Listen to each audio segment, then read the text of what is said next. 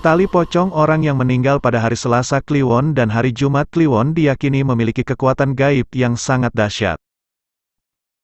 Dengan diikuti ritual khusus, tali pocong ini bisa dipakai untuk mengikat jiwa secara gaib, untuk dikendalikan sesuai keinginan, termasuk menarik harta dari alam gaib.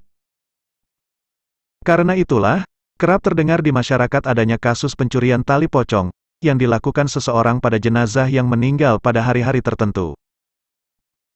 Iya, pencurian tali pocong selama ini memang identik dengan ritual tertentu.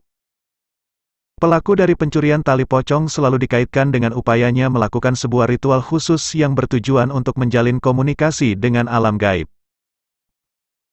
Seseorang spiritualis asal Magetan menyebutkan bahwa ritual seperti ini memang ada dan telah biasa dilakukan oleh mereka yang tengah memperdalam ilmu kesaktian tertentu. Umumnya kain kafan ini nantinya akan dijadikan jimat yang bisa meningkatkan kekuatan atau kesaktian dari orang yang memegangnya. Segala ilmu bisa didapatkan dengan kain kafan tersebut. Namun pada umumnya ritual ini sering dilakukan oleh mereka yang memiliki niat jahat, terutama para maling. Sebab dengan menyimpan atau memakai jimat dari kain kafan atau tali pocong ini akan memudahkan pekerjaannya, terang pria yang akrab dipanggil Kidemang ini. Hanya saja menurut guru besar Padepokan Kemuning Bakti Persada, Maospati, Magetan ini, untuk bisa mendapatkan manfaat dari tali pocong tersebut tidak mudah dan tidak semua orang bisa melakukannya.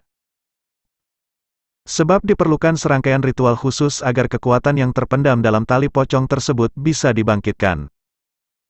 Ritual tersebut harus dilakukan sejak mulai awal pengambilan sampai saat tali pocong telah didapatkan.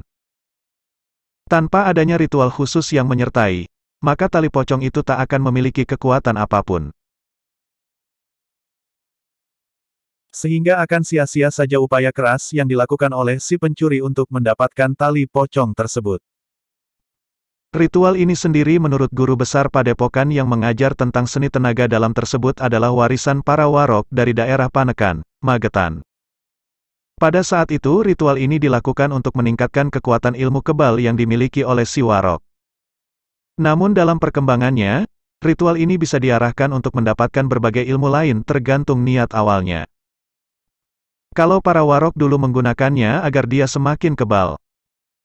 Tapi selain itu, ritual ini bisa dimanfaatkan untuk mendapatkan ilmu yang lain seperti panglimunan yang bisa membuat diri kita seolah-olah menghilang. Lalu ilmu pambungkeman yang bisa digunakan para politisi untuk membungkam mulut lawan-lawannya. Selanjutnya bisa juga untuk media memikat lawan jenis, paparnya. Ritual khusus Ritual awal adalah ritual terpenting agar seseorang bisa mendapatkan kekuatan dari tali pocong tersebut. Sebab bila pada awalnya sudah salah, maka jangan harap si pelaku ritual bisa mendapatkan apa yang diinginkannya. Dengan mendapatkan izin tersebut, maka tali pocong yang diambil akan benar-benar telah menyimpan kekuatan dari orang yang dikuburkan. Sehingga kemudian si pelaku tinggal melakukan ritual selanjutnya agar tali pocong itu bisa benar-benar bermanfaat.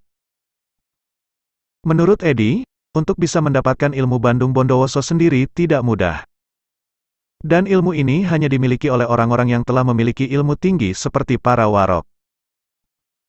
Rapal mantra dari ilmu inilah yang kemudian akan membangkitkan jenazah secara gaib, jadi bukannya bangkit sungguhan. Hanya ingin kekuatan gaibnya saja. Selanjutnya makam dilangkahi sebanyak tiga kali sambil menahan napas. Dan pada langkah terakhir kaki dihentakkan ke tanah sambil menyebut nama jenazah sebanyak tiga kali agar kekuatannya bisa bangkit. Baru setelah itu makam dibongkar dan kain kafan atau tali pocongnya diambil, terangnya. Dalam ritual ini memang cukup hanya bagian tali pocong saja yang diambil. Dan bagian yang paling sering diambil adalah pengikat kepala dan pengikat badan. Khusus untuk orang yang meninggal pada hari Selasa Kliwon, Kidamang mengatakan seharusnya si pencuri cukup mengambil bagian pengikat badan saja. Sebab pada saat itu kekuatan terbesar dari kain kafan terletak pada bagian tengah. Sedangkan yang meninggal pada hari Jumat Kliwon, bagian yang diambil adalah pengikat kepala. Selasa bisa disamakan dengan rasa. Dan kalau bicara rasa, jelas hal ini terletak di bagian dada. Sehingga bagian yang diambil saat itu haruslah bagian pengikat badan. Bagian ini akan sangat cocok untuk menjalankan laku penyempurnaan ilmu kebal, serta pengasihan. Sedangkan bila Jumat Kliwon, bagian terkuat adalah pada kepala. Makanya kain pada bagian ini akan ampuh untuk ilmu panglimunan dengan cara diikatkan di kepala, tuturnya. Untuk ilmu kebal, Kidamang mengatakan bahwa tali pocong itu bisa digunakan sebagai sabuk. Sedangkan untuk pengasihan, kain tersebut digunakan untuk membungkus sepasang bunga kantil. Bungkusan itu selanjutnya dikubur di makam orang yang berlawanan jenis dengan si pelaku. Saya berani menjamin kalau kekuatan ilmu ini lebih dahsyat dari ilmu pelet mana pun. Hanya saja ilmu ini termasuk ilmu hitam, dan tingkat kesulitannya sangat tinggi. Makanya jarang orang yang melakukannya, pungkasnya. Hal yang hampir sama juga disampaikan oleh seorang budayawan asal Solo, Jawa Tengah. Menurut Bambang pencurian tali pocong terkait dengan ritual mengikat jiwa secara gaib. Karena itu benda ini bisa dipakai untuk ilmu pengasihan. Dengan menggunakan tali pocong yang dirituali, maka seseorang bisa melakukan pengikatan terhadap jiwa seseorang yang dituju. Dan begitu jiwa itu terikat, maka orang yang terikat tersebut akan selalu mengikuti apa yang diinginkan orang yang mengikatnya. Tapi untuk melakukan pengikatan ini perlu ada proses ritual yang sangat rumit dan tidak sembarang orang bisa melakukannya, jelasnya. Tak hanya untuk pengasihan, ritual ikatan gaib dengan tali pocong juga bisa digunakan untuk menarik harta gaib. Artinya benda ini bisa dipakai untuk pesugihan. Dan proses ritual yang dijalankan juga sama dengan ritual pengasihan. Hanya saja yang diikat secara gaib bukanlah jiwa seseorang, melainkan harta gaib yang akan diambil. Dengan mengikat harta itu secara gaib, maka harta yang sebelumnya wujudnya tidak nyata akan bisa menjadi nyata dan bisa dipakai sesuai kehendak si pelaku ritual. Bambang bisa menjelaskan hal ini karena dirinya mengaku pernah melakukannya dan berhasil melakukan penarikan miliaran uang pecahan seratus ribuan.